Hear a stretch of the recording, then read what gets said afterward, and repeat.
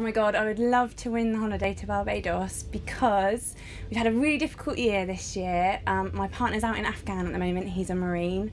I've been at home doing everything that I needed to do, keeping everything going, um, working really long hours because we're saving up to uh, afford our wedding. So our wedding is next year, and it would really help us out to win.